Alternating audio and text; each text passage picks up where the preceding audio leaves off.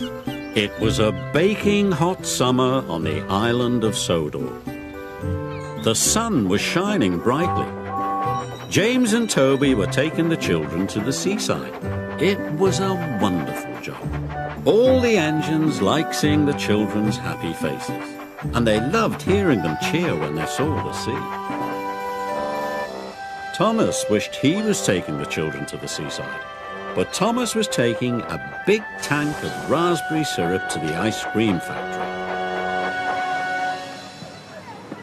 Down on the beach it was very hot, and the ice cream lady had run out of ice cream.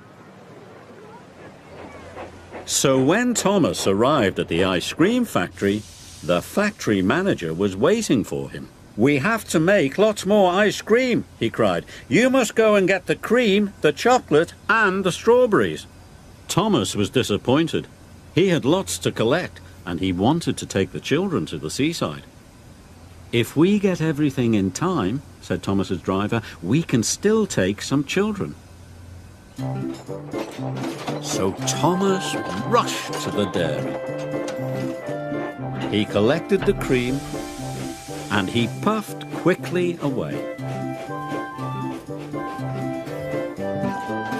Next, Thomas had to collect some strawberries, so he raced through the countryside to Farmer McColl's. Then Thomas had to stop for James. Out of the way, snorted James. Passenger train coming through. James's carriages were full of laughing children. They were going to the seaside. Why does James get to take the children? moaned Thomas. At last the crossing was clear and Thomas puffed away.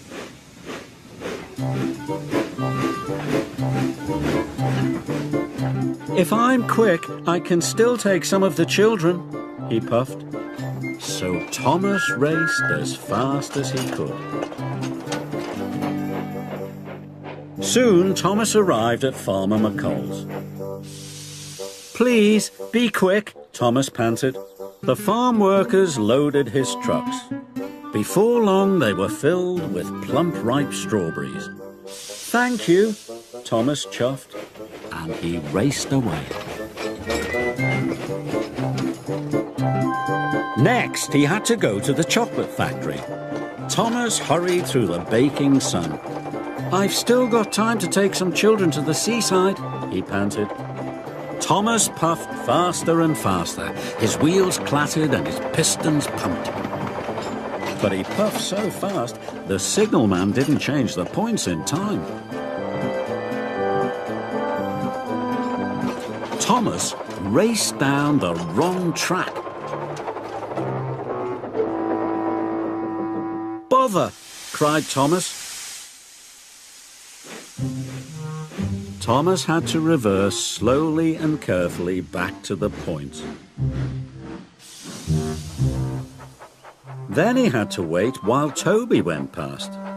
Toby was taking more children to the seaside. They were having a wonderful time.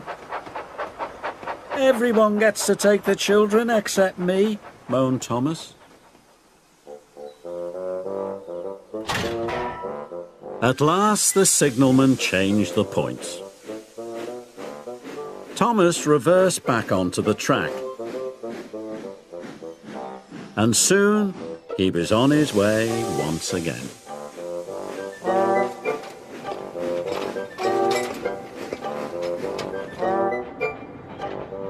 When Thomas arrived at the chocolate factory, it was very late. Hurry up, cried Thomas. If I'm quick, I might still get to take some children. The workmen loaded Thomas's trucks as fast as they could. They were soon filled with heaps of chocolatey cocoa powder. Thomas was ready to go. But the shunters hadn't released the brakes on the trucks. Thomas pulled as hard as he could, but the trucks wouldn't move. I have to hurry, puffed Thomas. He heaved, he huffed, and he puffed, and at last the coupling broke. Thomas shot forward, cocoa powder flew everywhere. Now I'll never get to take the children, puffed Thomas. After a long time, Thomas's trucks were ready. The yard manager had released the brakes and Thomas chuffed carefully out of the yard.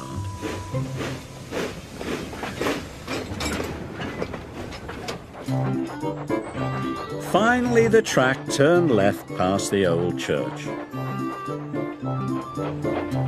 Thomas arrived at the ice cream factory. He thought his job was nearly done, but he was wrong. The factory manager was waiting for him. The ice cream will soon be ready, he said. You must take it to the seaside for me. Thomas was very disappointed. He wished he could take the children to the seaside instead. He wanted to hear them cheer when they saw the sea. Thomas puffed along the coast to the seaside. I wish I was taking the children, sighed Thomas. Percy was waiting at the seaside station, and so were lots of children. They all cheered as Thomas pulled into the station. Thomas was surprised.